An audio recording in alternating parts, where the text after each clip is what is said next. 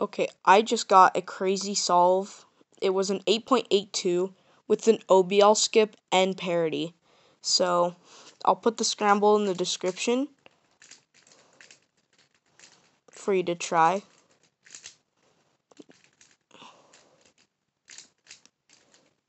So it's one slice from this angle to scallop kite.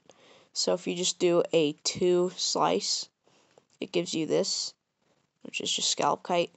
But in slow solves, I notice if you have this pattern where these two edges are split from each other and these corners are away from each other, and you have this block, it'll skip OBL.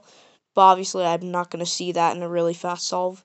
So I just do my cube shape like normal and it skips OBL.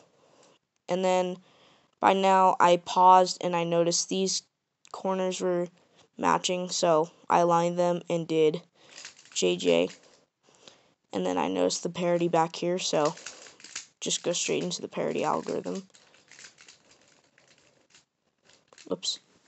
And that is how I got possibly the weirdest square one scramble ever. Um, you guys could try it out for yourself. It's a really interesting scramble, and tell me if you get anything faster in the comments.